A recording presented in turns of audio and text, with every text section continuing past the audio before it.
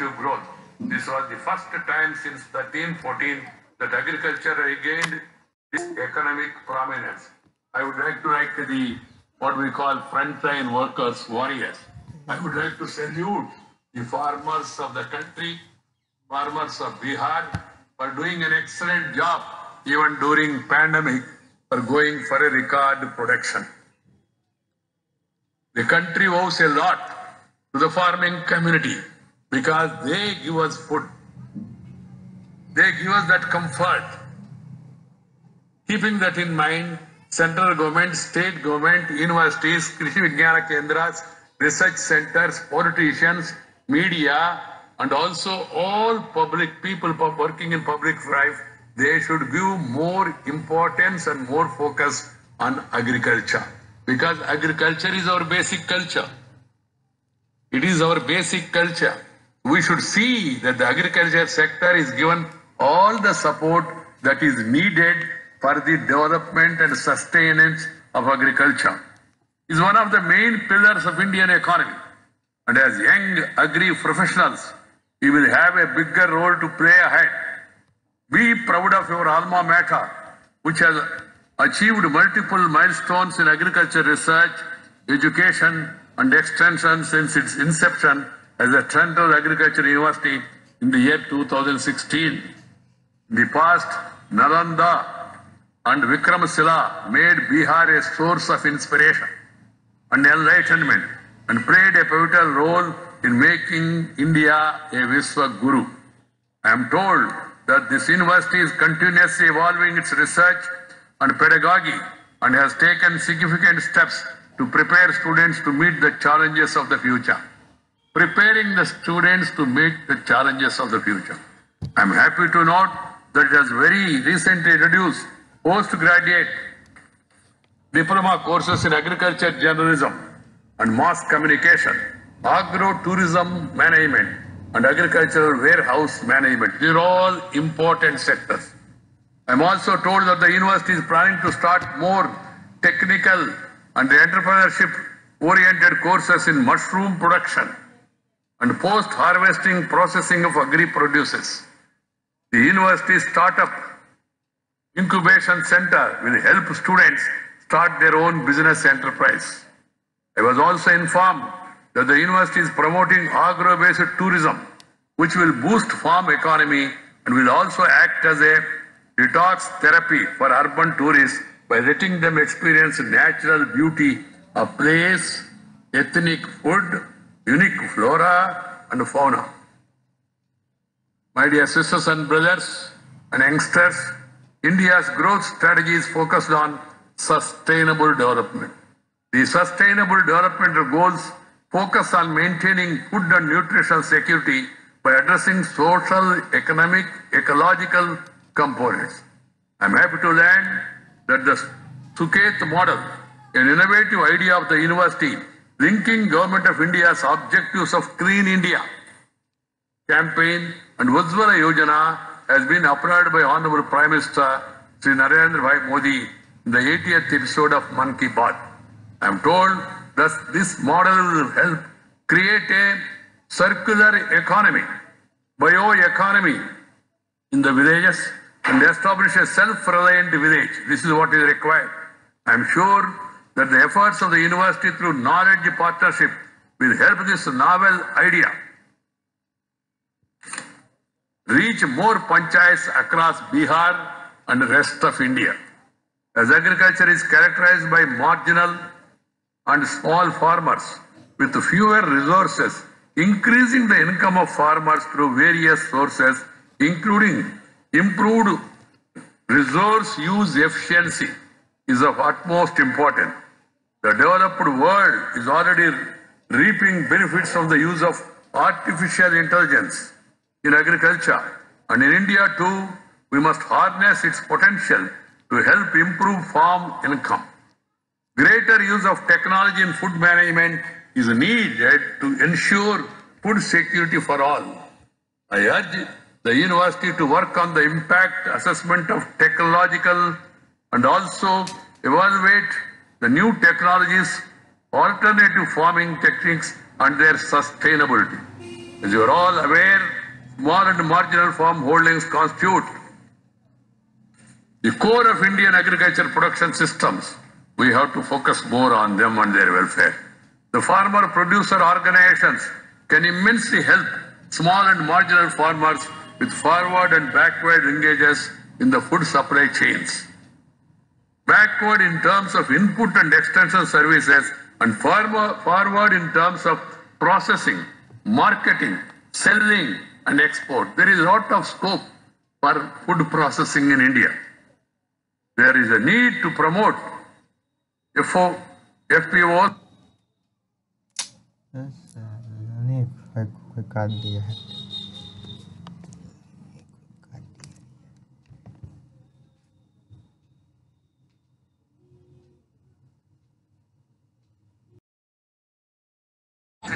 search work.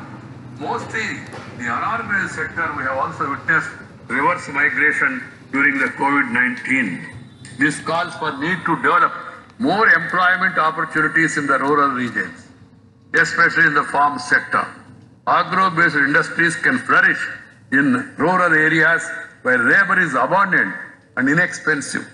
Entrepreneurship in agriculture can immensely benefit Indian economy by generating employment opportunities for rural youth and reducing the migration from rural to urban areas. I have been told that the university came up with a slew of technologies suitable for migrant laborers, including women, and trained them under PM Kisan Kalyan Yojana.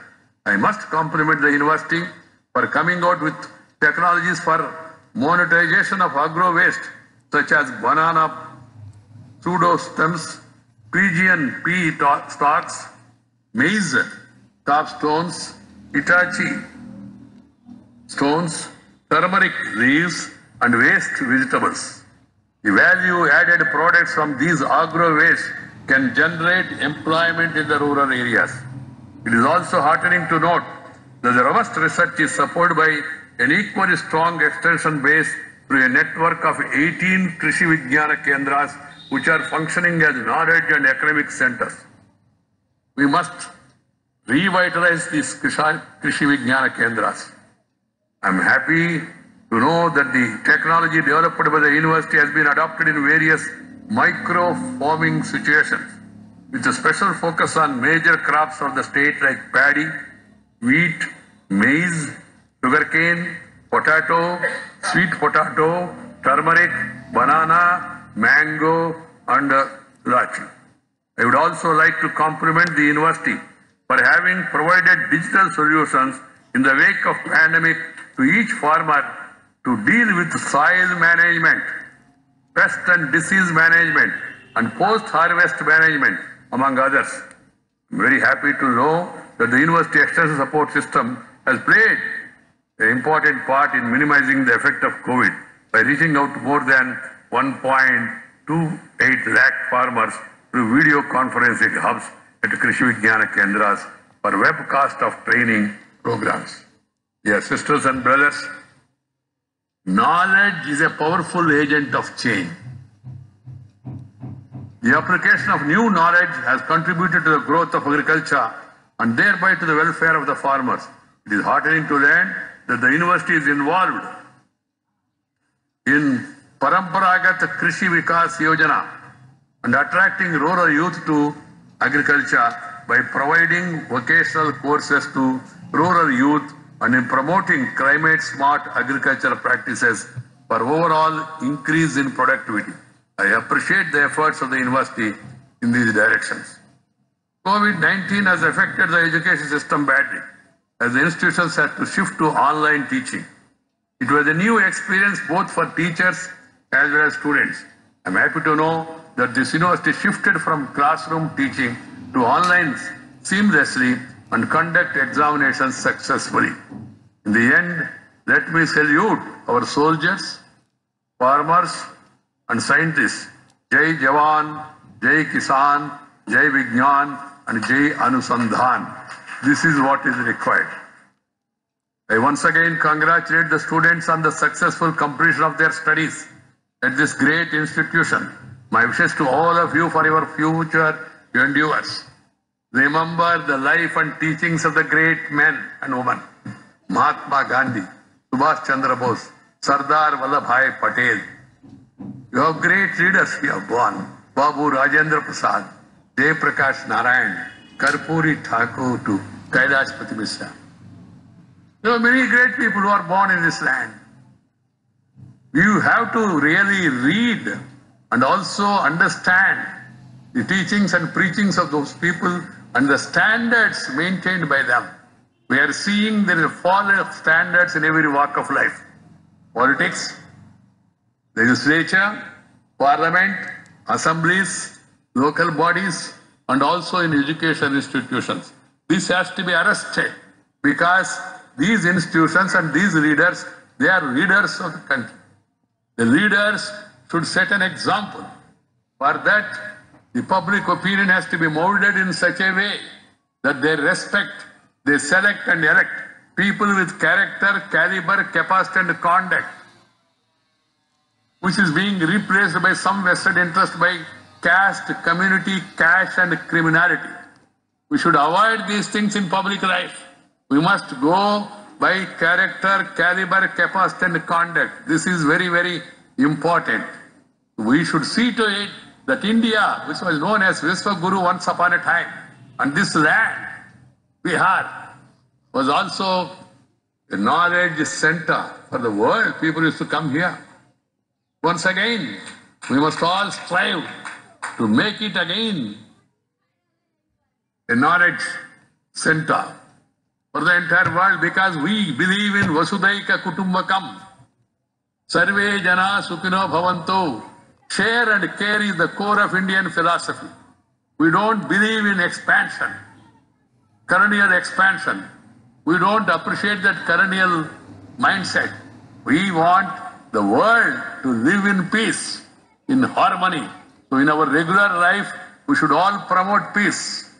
If you have tension, you cannot pay attention and have the retention and make only pretension. Keep this in mind.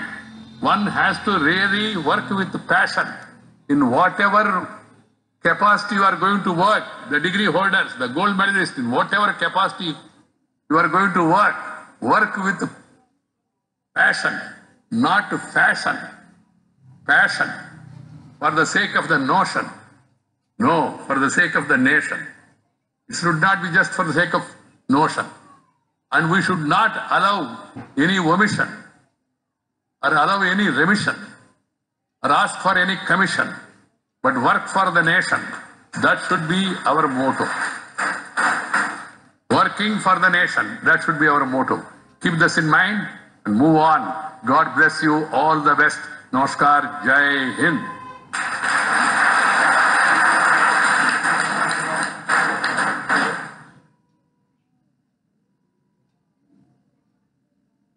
बहुत धन्यवाद, sir. अब मैं vote of thanks vote of thank thank you sir thank you sir बड़ी असीम खुशी हो रही है कि धन्यवाद प्रस्ताव देने का मुझे सौभाग्य प्राप्त हुआ है। हिज एक्सेलेंसी हमारे उपराष्ट्रपति श्री वेंकैया नायडू साहब, राज्यपाल श्री फागू चौहान जी, मुख्यमंत्री श्री नीतीश कुमार जी, और मंत्रीगण अमरिंदर सिंह उप मुख्यमंत्री रेणु देवी जी, हमारे भूतपूर्व केंद्रीय मंत्री एवं सांसद श्री राधा मोहन सिंह जी, मंत्री प्रमोद कुमार जी, हमारे director general ICR, secretary DARE doctor Trilochan Mahapatra ji, chancellor Mishra ji और हमारे कुलपति डॉक्टर आशीष श्रीवास्तव। मैं कहना चाहता हूँ, सर, बहुत समय कम है सरकार, फिर भी मैं ये विशेष रूप से कहना चाहता हूँ इतना हम लोग को जो सभी मंचासीन बैठे लोगों ने हमारा प्रोत्साहन बढ़ाया है, इस विश्वविद्यालय के के मुकुट पर चार चाँद लगाया है, हम उनको कोटि कोटि धन्यवाद देते हैं सभी को। कि इतने छोटे से इंस्टीट्यूट, वो पाँच वर्षों में इंस्टीट्यूट तो उन्नीस सौ सत्तर से, लेकिन पिछले पाँच वर्षों में जो इसके शीर्ष पर नए नए फेदर मुकुट लगे हैं, उसके लिए आप सबका योगदान रहा है, सर। हम साथ ही सारे आमंत्रित, गणमान्य व्यक्ति, प्रेस मीडिया छात्र छात्राओं सभी पुरुष महिलाओं, हमारे board of management and academic council के मेंबर और जिन्होंने सब इस विश्वविद्यालय को संवारने में एक एक ईट जोड़ी है, सभी का विशेष विशेष धन्यवाद। लोकल एडमिनिस्ट्रेशन सिक्योरिटी ने हमें बहुत कोऑपरेट किया है, उसके लिए भी उन सबका सराहनीय काम हम लोग धन्यवाद देते हैं। प्रोग्राम के सभी लोग जिन्होंने इसको सुंदर और अच्छे ढंग से चलाने की कोशिश की, उन सभी का विशेष रूप से धन्यवाद देते हैं। हम अंत में हमारे जो छात्र और छात्राओं के जो अभिभावक हैं, उनको भी कुछ लोग जो लेट से भी आए, उनको भी विशेष धन्यवाद देते हैं। एक बार पुनः सभी को विशेष धन्यवाद देते हैं और धन्यवाद सभी को। धन्यवाद। मैं रिक्वेस्ट करूँगा हमारे कुलाधिपति जी से, श्री प्रोफेसर पी के मिश्रा जी से कि वो इस सेरेमनी को क्लोज करने का करें। I declare this convocation to be closed.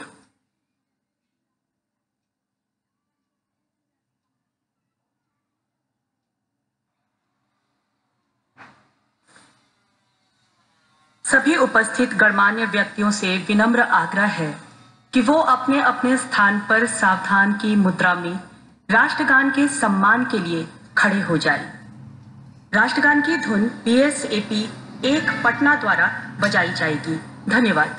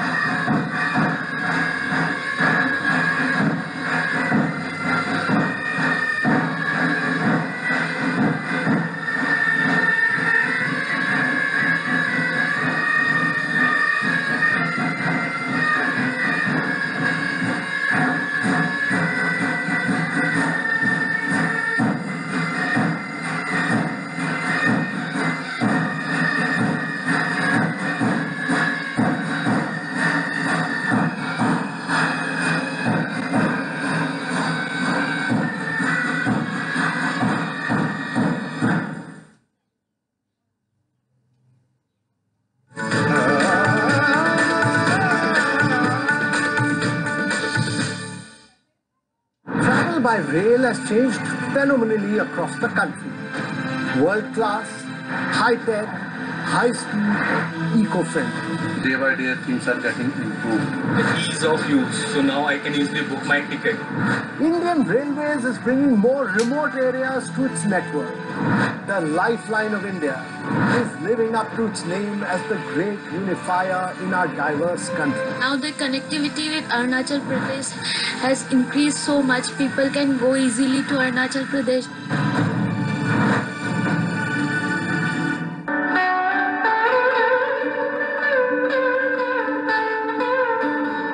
देश में मुझे अच्छा रेस्पॉन्स मिला, सब लोगों ने मुझे आशीर्वाद दिया। शुरू शुरू में ज़रूर होता है कि अरे, ये तो वेस्टर्न इंस्ट्रूमेंट है। इस पर क्या बजेगा?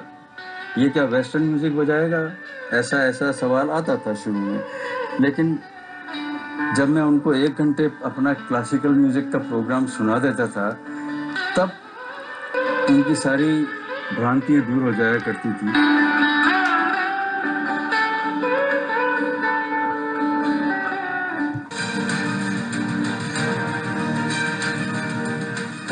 Plans for your ministry, what kind of investment do you foresee? looking at a, a national infrastructure pipeline uh, investment profile of close to about a 90,000 crores by 2025, which means we've got a very ambitious pipeline of close to about 18,000 crores uh, per annum. The plan is to increase the number of airports, heliports, water aerodromes to 220 by 2025. We have almost doubled the number of airports in our country in seven years.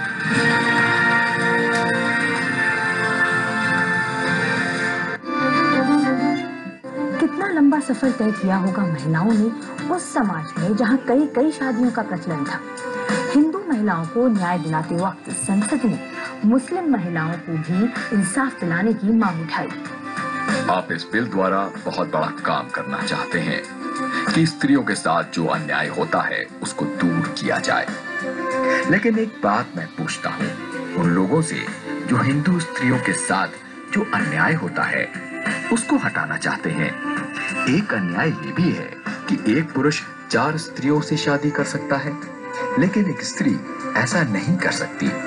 तो क्या ये अन्याय केवल हिंदू स्त्रियों के साथ ही होता है? मुसलमान स्त्रियों के साथ नहीं होता?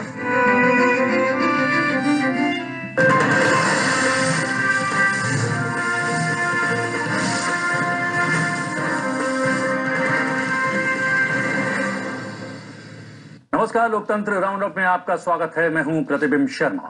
और मैं हूँ आपके साथ शालिनी खंडेलवाल। लोकतंत्र राउंडअप में हम लेकर आए हैं इस सप्ताह की कुछ ऐसी बड़ी खबरें जिससे लोकतंत्र पर विश्वास बढ़ता है। राष्ट्रीय और वैश्विक लोकतंत्र मज़बूत होता है। तो शुरुआत करते हैं हेडलाइंस से। रोम में पाँच दिवसीय शिखर सम्मेलन जी ट्वेंटी का आयोजन। प्रधानमंत्री नरेंद्र मोदी की सदस्य देशों के राष्ट्रीय अध्यक्षों से मुलाकात। द्विपक्षीय संबंधों और आपसी हितों को लेकर हुई बातचीत। उपराष्ट्रपति एम वेंकैया नायडू ने स्वास्थ्य सुविधाओं को जन जन तक पहुँचाने पर दिया ज़ोर। कहा चिकित्सा क्षेत्र से जुड़े लोग हर आपात स्थिति से निपटने को रहें तैयार। लोकसभा अध्यक्ष ओम बिरला ने संसद परिसर का निरीक्षण किया कहा लोकतंत्र के मंदिर की पवित्रता स्वच्छता से ही जुड़ी है सभी विभागों का किया दौरा। उच्च शिक्षा में शोध और नवाचार पर उपराष्ट्रपति एम वेंकैया नायडू ने दिया ज़ोर। गोवा के पेडड़े में नए कैंपस का उपराष्ट्रपति ने उद्घाटन किया। कहा उच्च शिक्षा में बहुविषयक विस्तार देना होगा।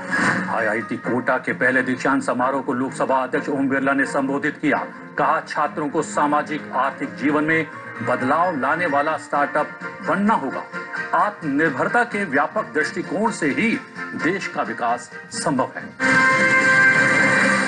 प्रधानमंत्री नरेंद्र मोदी इटली की राजधानी रोम में जी ट्वेंटी शिखर सम्मेलन में शामिल हुए। शिखर सम्मेलन में जी ट्वेंटी सदस्य देश, यूरोपीय संघ, आमंत्रित देश और अंतर्राष्ट्रीय संगठनों के राष्ट्राध्यक्षों ने भाग लिया। शिखर सम्मेलन से इतर प्रधानमंत्री ने यूरोपीय परिषद के अध्यक्ष और यूरोपीय आयोग के अध्यक्ष के साथ मुलाकात की। इस दौरान आपसी संबंधों को बेहतर बनाने समेत कई अहम विषयों पर चर्चा हुई। इससे पहले प्रधानमंत्री नरेंद्र मोदी ने रोम में जी ट्वेंटी सम्मेलन से इतर इटली के अपने समकक्ष मारियो ड्रैगरी से मुलाकात की। इस दौरान दोनों नेताओं ने द्विपक्षीय और आपसी हितों के मुद्दों पर चर्चा की। रोम में जी ट्वेंटी शिखर सम्मेलन से इतर प्रधानमंत्री ने इटली के अपने समकक्ष मारियो द्राघी से मुलाकात की। दोनों नेताओं ने द्विपक्षीय संबंधों का दायरा विभिन्न क्षेत्रों में बढ़ाने पर चर्चा की। साथ ही व्यापार और निवेश संबंधों के विस्तार पर भी सहमति जताई as well as the meeting that has just been held uh, with the Prime Minister of Italy, His Excellency uh, Mr. Mario Draghi.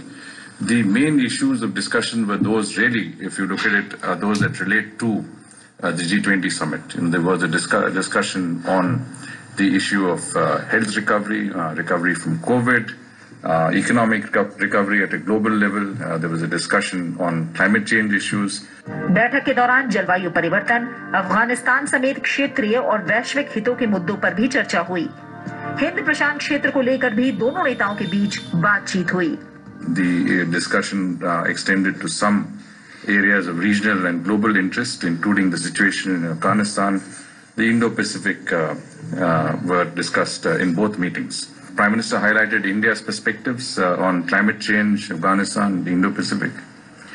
Um, the EU leaders, uh, as well as the Italian Prime Minister, did congratulate uh, Prime Minister for uh, India's excellent progress on vaccination uh, both uh, in terms of the numbers numbers of vaccines actually administered in our country and also um, in terms of the percentage of people covered uh, uh, in terms of the दोनों देशों के बीच स्वच्छ ऊर्जा और नवीकरणीय ऊर्जा क्षेत्र में निवेश पर चर्चा हुई दोनों नेताओं ने ग्रीन कॉरिडोर परियोजनाएँ स्मार्ट ग्रिड ऊर्जा भंडारण गैस परिवहन हरित हाइड्रोजन विकास और जैव ईंधन को बढ़ावा देने में साझेदारी पर सहमति जताई To provide fresh impetus to the bilateral cooperation in renewables and clean energy, India and Italy issued a joint statement announcing a strategic partnership on energy transition and agreed to explore uh, partnerships in areas such as large size green corridor projects, smart grids, energy storage solutions, gas transportation, integrated waste management, uh, waste to wealth, it's called development and deployment of green hydrogen, and promotion of biofuels. Uh, India and Italy also signed an agreement, uh, statement of intent on textiles uh, cooperation during the meeting. Uh, there was a very good discussion on uh, two-way uh, investments, uh, particularly in the clean energy and renewable sector, where Italy has a lot of expertise. And I think this is something that uh, um, both uh, prime ministers agreed to see how we can uh, take forward. इससे पहले Italy के प्रधानमंत्री Mario Draghi ने Palazzo Chigi में प्रधानमंत्री की अगवानी की यहाँ प्रधानमंत्री को गार्ड ऑफ़ ऑनर भी दिया गया उपराष्ट्रपति एम वेंकैया नायडू ने स्वास्थ्य सुविधाओं को जन जन तक पहुँचाने पर ज़ोर दिया है। उपराष्ट्रपति ने आंध्र प्रदेश के विजयवाड़ा में doctor Pinnamaneni Siddhartha institute of medical science and research foundation की ओर से आयोजित कार्यक्रम में ये बात कही। उपराष्ट्रपति ने कहा कि चिकित्सा क्षेत्र से जुड़े लोगों को भविष्य में भी किसी आपात चुनौती से निपटने के लिए तैयार रहना चाहिए। कोविड काल में चिकित्सकों की सेवा की तारीफ़ करते हुए उपराष्ट्रपति ने कहा कि देश के चिकित्सकों ने ये साबित कर दिया कि आखिरकार उन्हें धरती का भगवान क्यों कहा जाता है। उन्होंने हालाँकि चिकित्सा पेशे के व्यवसायीकरण पर चिंता जताई। India is being recognise India is being respected everywhere in the world because of the talent because of the hard work because of the contribution of the people and also the skills that are being exhibited by our people. Other countries, democratic countries, when you compare with them with India, 130 crore people, there are different regions, different religions, different standards, economic this thing, but still we were able to fight it out effectively. Thanks to salute to doctors and also the medical people and also the scientists who came out with Indian vaccine. Indian उपराष्ट्रपति ने कहा कि आज देश शिक्षा के मामले में अपनी अलग पहचान बना रहा है भारत के युवा विदेशों में भी अपने हुनर का लोहा मनवा रहे हैं It's one of the noblest professions, and all of us should always remain committed to the Hippocrates oath. Never deviate from the virtuous path and maintain highest ethical and moral standards. This is my advice to all the people who are working in the medical field and who are studying medicine because I am here. I want to particularly stress on that. Human touch. Human touch is very important, which is missing in some of the doctors' patients' interaction today. I feel that every doctor should try. And the governments also should focus more and more on medical education, medical infrastructure, more colleges, more universities. Prime Minister declared that every district will have a college. Yes, I'm happy. But every revenue division must have a college. उपराष्ट्रपति ने विजयवाड़ा में राम मोहन पुस्तकालय का दौरा किया और उन्होंने पुस्तकालय की नई वेबसाइट का शुभारंभ भी किया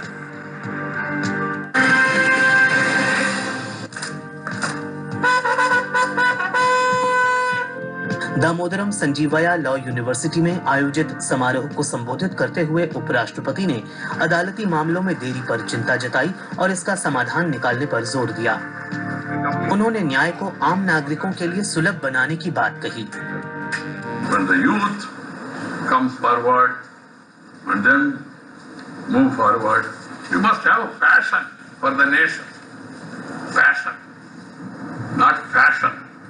Passion.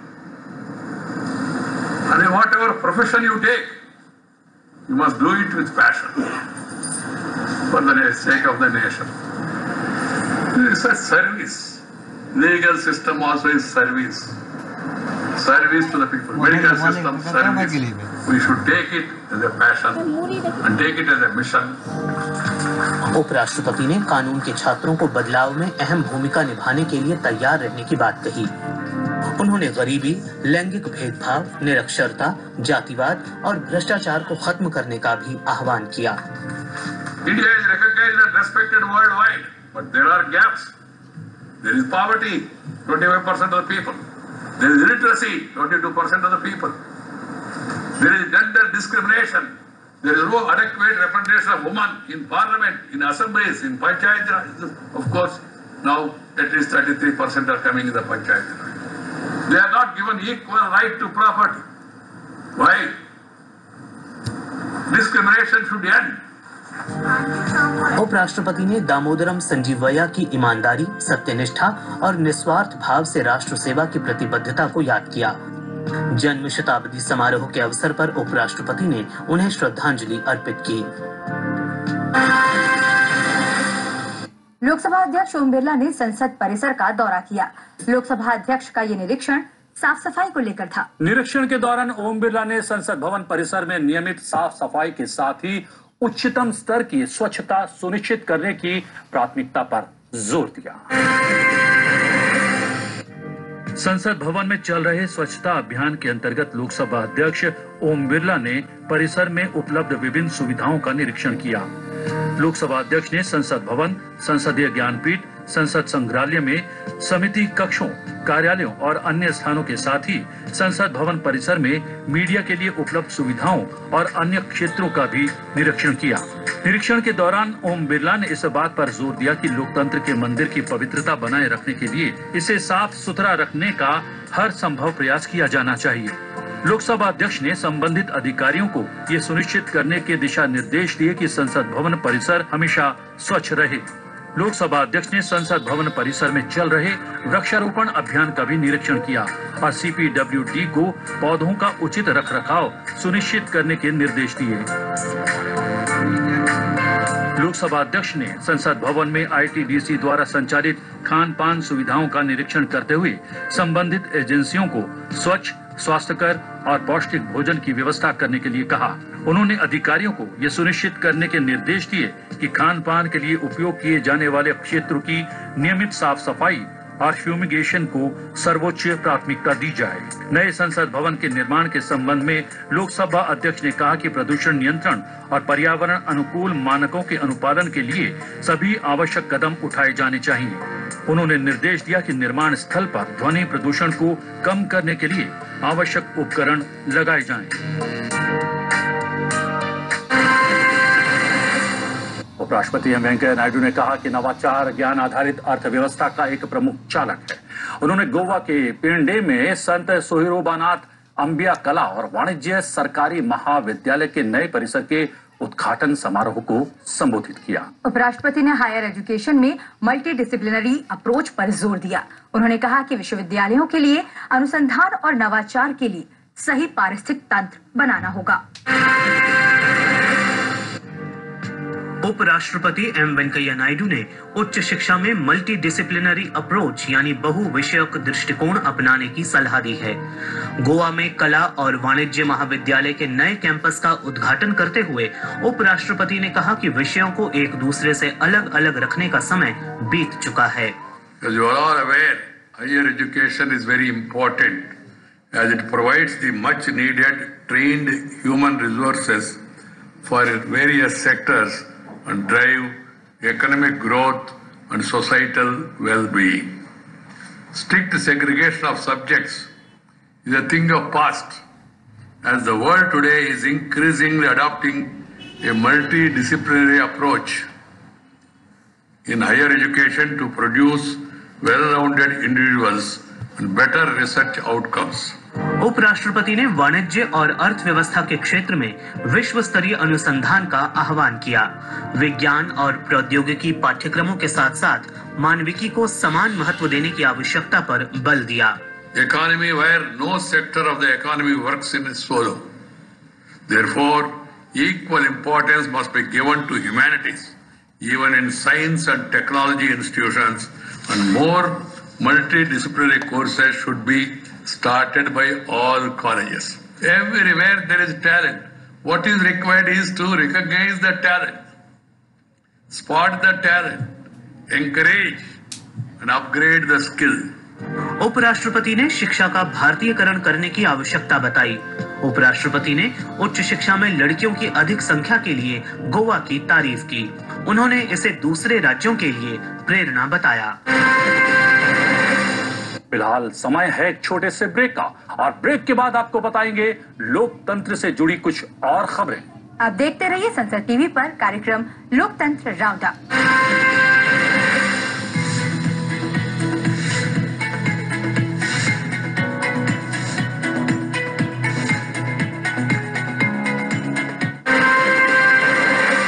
ब्रेक के बाद आपका एक बार फिर से स्वागत है कार्यक्रम लोकतंत्र राउंड अप में। शिक्षा की काशी कोटा जल्द ही राजस्थान का प्रमुख आईटी केंद्र बनकर उभरेगा। Indian Institute of Information Technology Kota के पहले दीक्षांत समारोह को संबोधित करते हुए लोकसभा अध्यक्ष ओम बिरला ने ये बात कही। दीक्षांत समारोह को वर्चुअल माध्यम से संबोधित करते हुए उन्होंने कहा कि केवल सभी छात्रों को बधाई देने के साथ ही साथ सामाजिक, आर्थिक जीवन में बदलाव लाने वाला स्टार्टअप बनाने की अपील करना भी बेहद आवश्यक है। Indian Institute of Information Technology Kota के पहले दीक्षांत समारोह को लोकसभा अध्यक्ष ओम बिरला ने वर्चुअल माध्यम से संबोधित किया। उन्होंने इस अवसर पर सभी छात्रों को बधाई देते हुए कहा कि ये दिन उनके जीवन का एक महत्वपूर्ण दिन है। औपचारिक शिक्षा समाप्त कर वो जीवन की नई पारी की शुरुआत कर रहे हैं। उन्होंने छात्रों से कहा कि उन्हें नए जीवन की शुरुआत नहीं करनी, बल्कि लोगों के सामाजिक, आर्थिक जीवन में बदलाव लाने वाला स्टार्टअप भी बनना है। आपके यहाँ से निकलकर आप अपना नया जीवन शुरू करेंगे।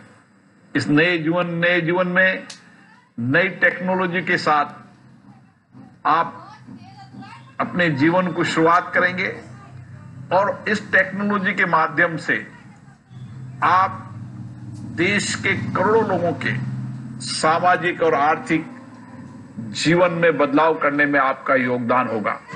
उन्होंने छात्रों को संबोधित करते हुए कहा कि एक टेक्नोक्रेट के रूप में उनकी ज़िम्मेदारी है कि वो अपने देश या कंपनी को बदलाव के लिए तैयार करें और इसके लिए छात्र नवाचारों के साथ रचनात्मक प्रतिभा का प्रयोग करें। आज विश्व बड़ी तेज़ी से बदल रहा है और विश्व को तेज़ी से बदलने में टेक्नोलॉजी का सबसे बड़ा योगदान है। और इस टेक्नोलॉजी के कारण भारत भी नए भारत की ओर बढ़ रहा है। उसके परिणाम भी अभी हम देख रहे हैं कि किस तरीके से टेक्नोलॉजी के द्वारा हमने समाज जीवन के हर हिस्से में व्यापक बदलाव लाए हैं। और इसीलिए एक टेक्नोक्रेट के रूप में आपका दायित्व ज़्यादा बढ़ जाता है। और आप अपनी टेक्नोलॉजी के माध्यम से नई विधाओं के माध्यम से नए विचारों के माध्यम से नए व्यवहार के माध्यम से इस समाज में आप अपना रचनात्मक योगदान देंगे। लोकसभा अध्यक्ष ने कहा कि आज का भारत एक नया भारत है नई सोच वाला भारत है। हम एक ऐसा विकास चाहते हैं जिसमें सभी भागीदार हों और सभी को लाभ मिले। आज भारत एक नए भारत के रूप में उभर रहा है। एक नई सोच में बदलाव हुआ है।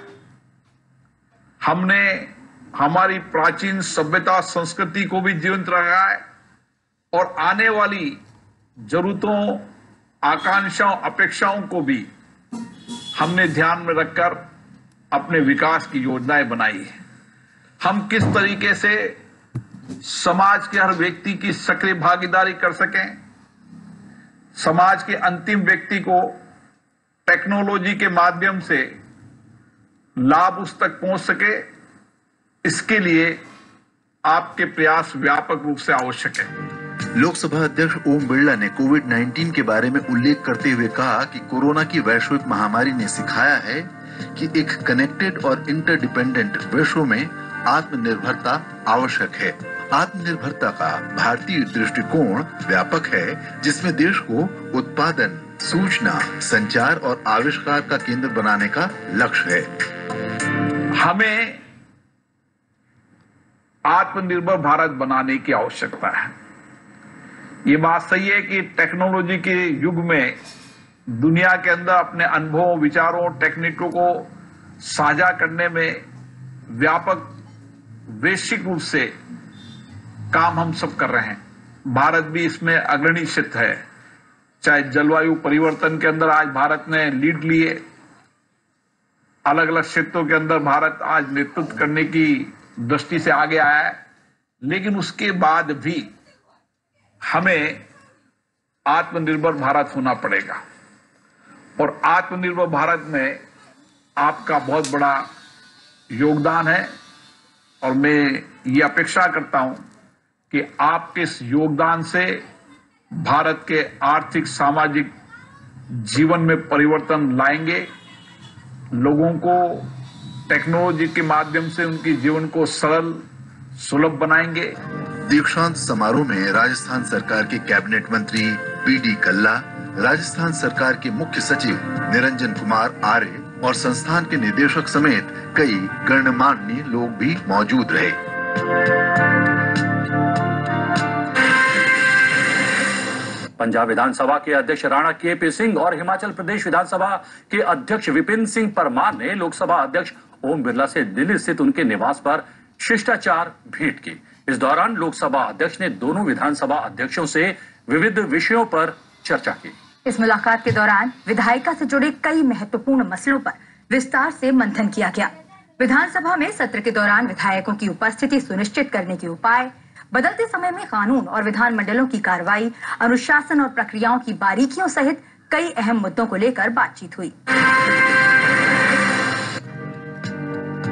पंजाब विधानसभा के अध्यक्ष राणा के पी सिंह और हिमाचल प्रदेश विधानसभा के अध्यक्ष विपिन सिंह परमार ने लोकसभा अध्यक्ष ओम बिरला से दिल्ली स्थित उनके निवास पर शिष्टाचार भेंट की। इस दौरान लोकसभा अध्यक्ष ने दोनों विधानसभा अध्यक्षों से विविध विषयों पर चर्चा की। विधायिका से जुड़े कई महत्वपूर्ण मसलों पर विस्तार से चर्चा हुई। विधानसभा में सत्र के दौरान विधायकों की उपस्थिति सुनिश्चित करने के उपाय, बदलते समय में कानून और विधानमंडलों की कार्रवाई, अनुशासन और प्रक्रियाओं की बारीकियों सहित कई अहम मुद्दों को लेकर बातचीत हुई। उपराष्ट्रपति एम वेंकैया नायडू ने गोवा राजभवन में राज्य के प्रख्यात लेखकों, कलाकारों, फ़िल्म निर्माताओं और सांस्कृतिक हस्तियों के साथ मुलाकात की। इस दौरान उपराष्ट्रपति ने गोवा के साहित्य अकादमी पुरस्कार विजेताओं को सम्मानित भी किया। इस अवसर पर उपराष्ट्रपति ने कहा कि देशवासियों को अपना देश जानने के लिए स्वदेश दर्शन ज़रूर करना चाहिए। साथ में उपराष्ट्रपति ने व्यक्तित्व विकास के लिए मातृभाषा को बेहद आवश्यक बताया। उपराष्ट्रपति एम वेंकैया नायडू 27 अक्टूबर से 30 अक्टूबर तक गोवा की चार दिवसीय आधिकारिक यात्रा पर रहे। उपराष्ट्रपति एम वेंकैया नायडू ने गोवा राजभवन में राज्य के प्रख्यात लेखकों, कलाकारों, फ़िल्म निर्माताओं और सांस्कृतिक हस्तियों के साथ मुलाकात की। इस दौरान उपराष्ट्रपति ने गोवा के साहित्य अकादमी पुरस्कार विजेताओं को सम्मानित भी किया इस अवसर पर उपराष्ट्रपति ने कहा कि देशवासियों को अपना देश जानने के लिए स्वदेश दर्शन अवश्य करना चाहिए साथ में उपराष्ट्रपति ने व्यक्तित्व विकास के लिए मातृभाषा को बेहद आवश्यक बताया.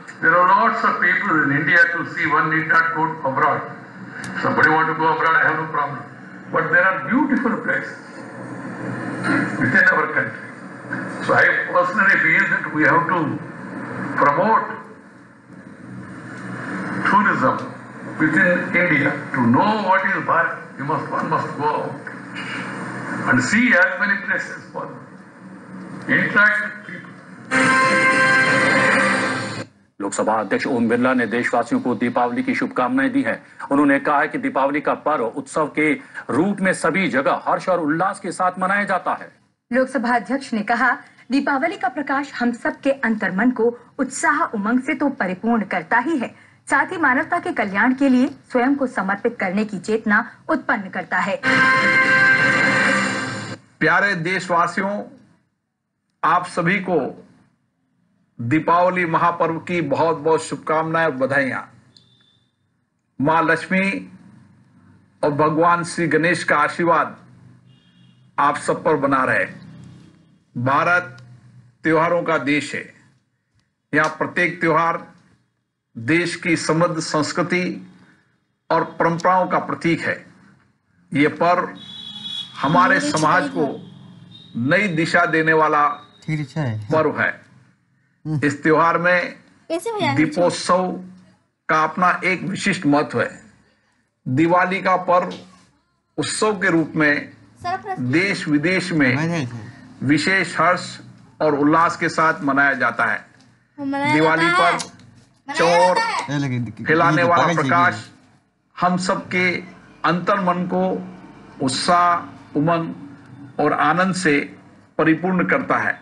हमें समाज के वंचित अभावग्रस्त वर्ग के जीवन को नई आशा और नई उम्मीद से आलोकित करने का प्रयास करने की आवश्यकता है। ये पर हमें धर्म, सत्य, सेवा, न्याय और परमात्म के मार्ग पर चलने का ज्ञान देता है। आपको पुनः दिवाली की शुभकामनाएँ।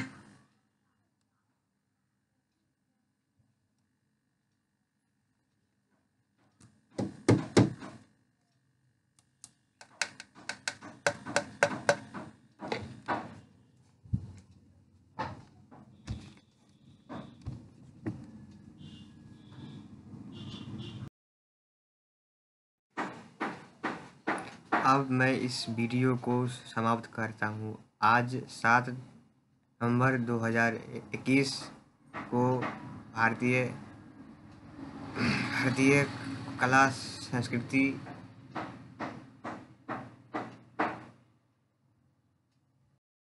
आज सात नवंबर 2021 को भारत के उपराष्ट्रपति ने भारतीय, भारत के केंद्रीय विश्वविद्यालय पूसा में में द्वितीय दीक्षांत समारोह को संबोधित करते हुए विभिन्न गोल्ड मेडलिस्ट को